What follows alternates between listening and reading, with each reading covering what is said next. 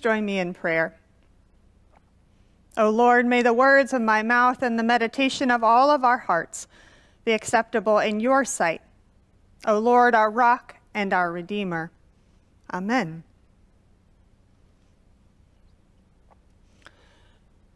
Norris showed up most Saturday mornings. He was there most mornings, really, sitting on a bench inside the church grounds or pacing in the corner garden. I learned his name early on and greeted him by it whenever I could. Good morning, Norris. How are you doing today, Norris? Some days he would look up, give a shy smile, and say hello.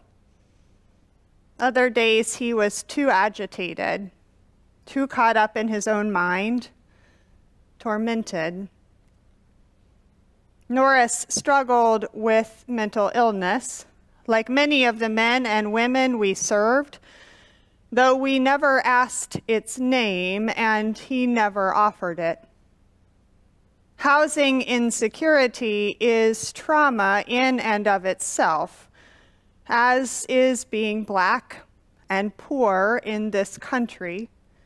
And to look at Norris was to know that he had endured much in his lifetime. The weariness of it all showed through his worn face and his pained walk.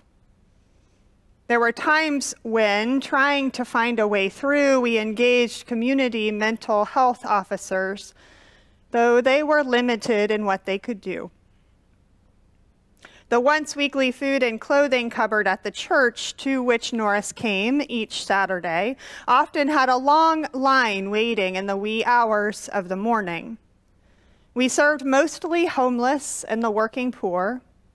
Volunteers would come cheerfully and faithfully to hand out coffee and baked goods, organize and distribute pants and shirts in correct sizes, and bag up food items easily consumed without the need of a kitchen or cooking tools.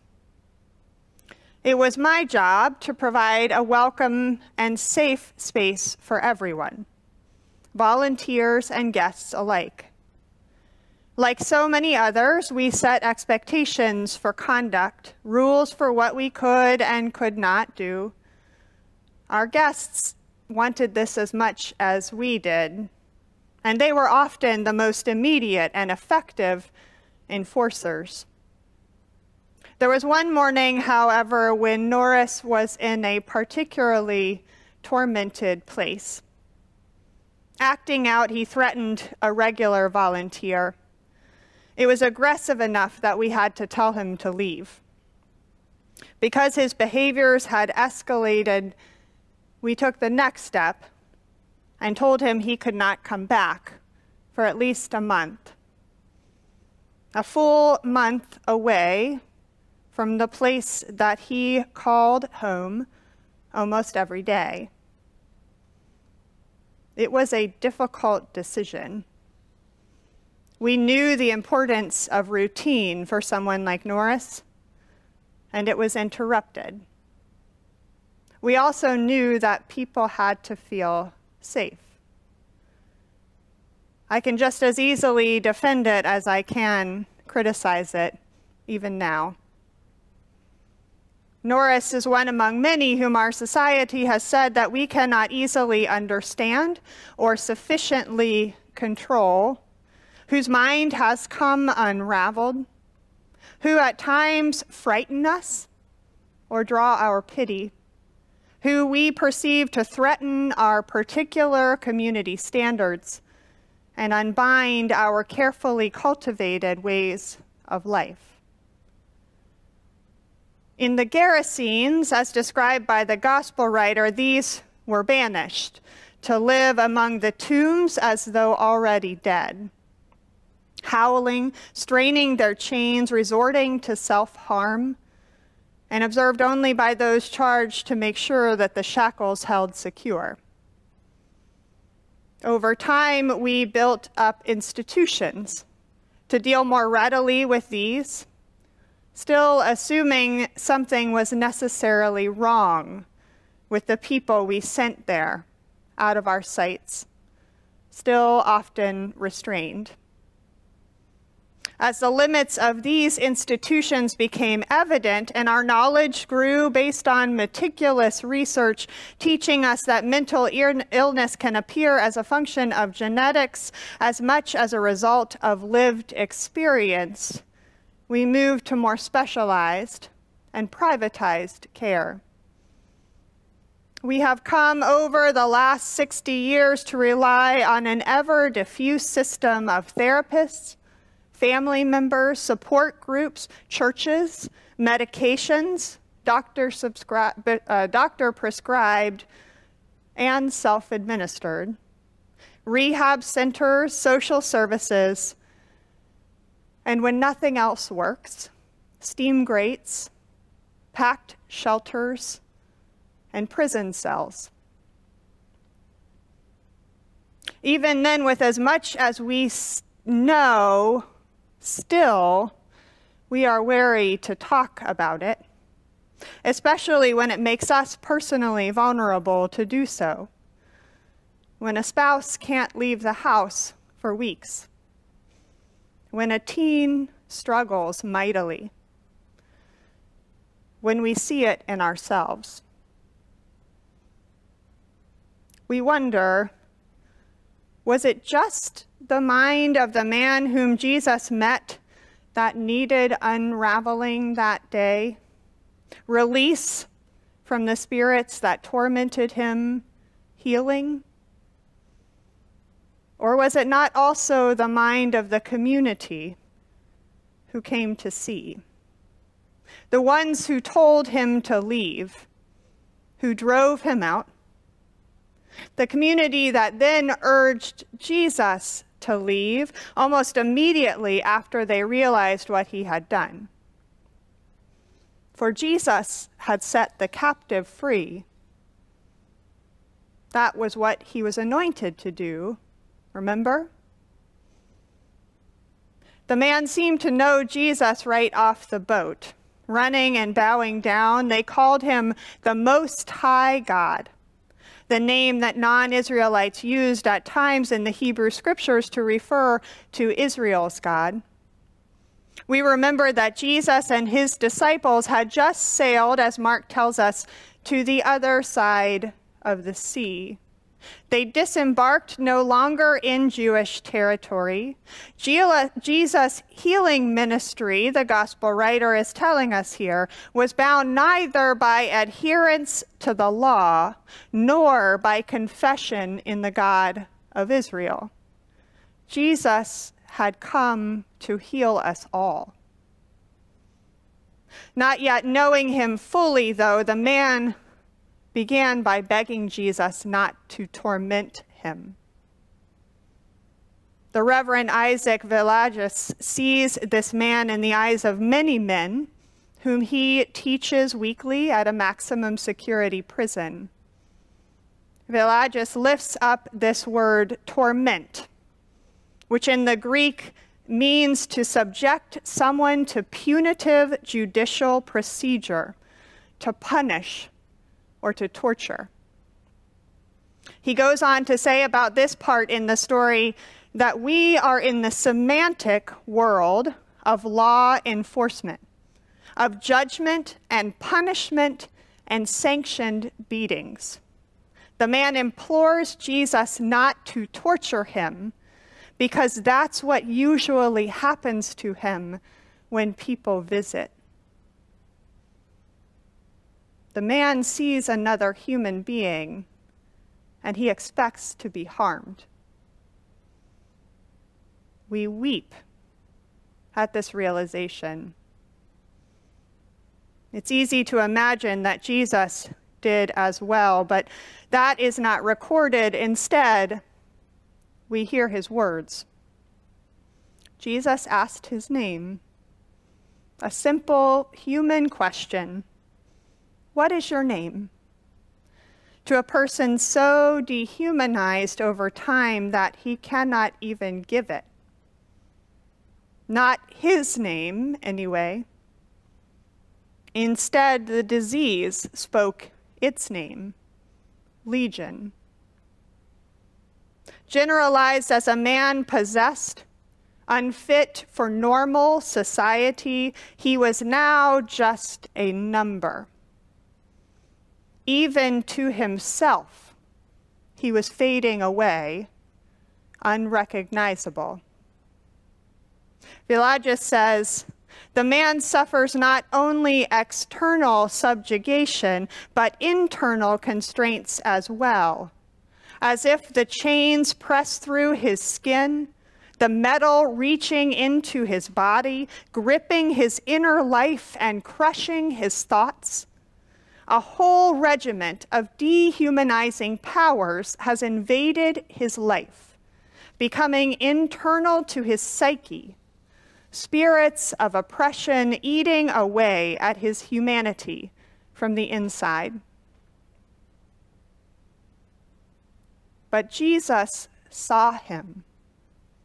As Jesus does again and again in story after story after story of those named and those remain unnamed the man in the tree, the woman at the well, the woman touching his cloak, the one cowering before a gathering of men, stones at hand. And Jesus set him free. Into the nearby swineherd, he cast the demons in a sweeping gesture that we might recognize today as that in a Marvel comic or a Stephen King novel. And down the steep bank they went into the sea. We hear in the distance, if we listen for it, Miriam taking up her tambourine, dancing and singing on the banks of the Red Sea after the Israelites made it from captivity to freedom unharmed, while Pharaoh's army in hot pursuit did not.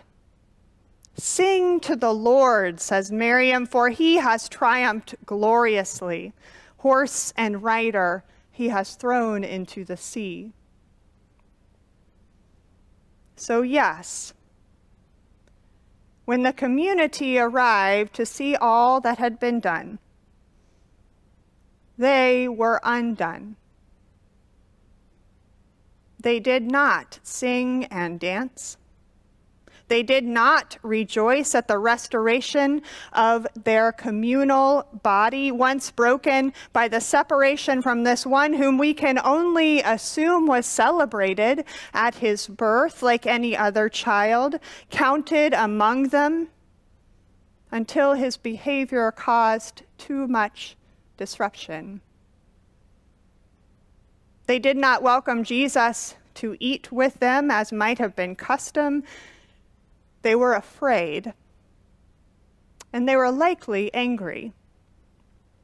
For Jesus had just upset everything and cost them something. Not only had he made them face again the one whom they had sent away, he also took 2,000 swine out of the local economy by sending them into the sea. No wonder they wanted him gone off the premises for good. Likewise, no wonder the man was ready to go too, not ready to see again the fearful and judgmental looks. It costs us something to think anew about what it means to be in relationship with one another to confront that for which we do not have easy solutions, that which makes us uncomfortable, vulnerable, afraid. It costs us something as a local community so valuing of achievement to have our minds shaken free of the presuppositions about status quo idols of perfectionism and self sufficiency, of having everything handled just so. Mental illness, as so many of us have experienced, does not fit our right sized boxes. The causes and the effects tear at our preset expectations and require those supporting to be nimble and attentive and eager with compassion. It costs us something as a larger society to invest in healthcare that attends to the body and to the mind for all people, regardless of income or neighborhood. To imagine a prison system truly built to restore rather than to warehouse. To prioritize affordable housing and jobs that pay enough so people can thrive the insecurity of all of which are contributors to the dis-ease of mental health. Yes, it costs us something, but it costs us more to send Jesus away at this point, and the man with him. The deepest cost is to life itself even when we do not attend to it or secret it away, it is still there. And sometimes the pressure is too much. The deepest cost is life. There is also a deep cost to community, to any chance to be the fullness of the body of Christ for one another. There is deep cost in missing what God has done for us, being amazed at the mercy shown as it lovingly arrives on our front door with a note saying, This is hard. I have been there. You are not alone.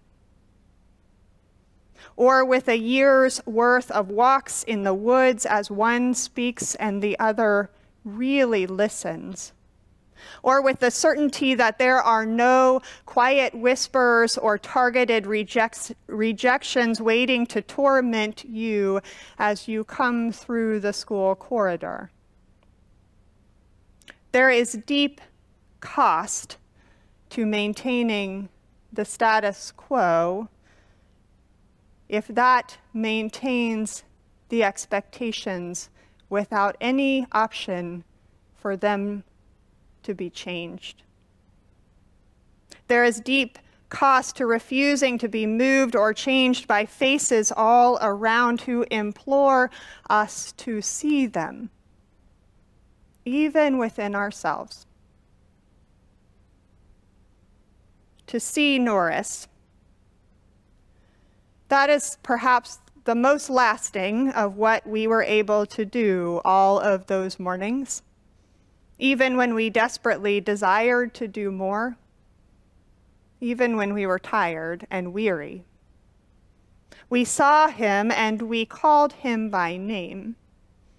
And when he came back after a month, it's a testament to him that he did. We picked right back up where we'd left off. Good morning, Norris. It's good to see you this morning, Norris.